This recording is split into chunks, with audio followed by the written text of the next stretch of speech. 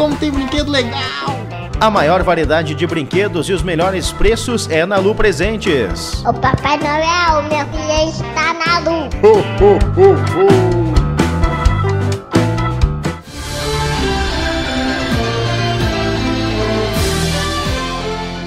O Ministério da Fazenda anunciou nesta semana o um novo reajuste de 2,07% no salário dos aposentados e pensionistas que recebem mais de um salário mínimo.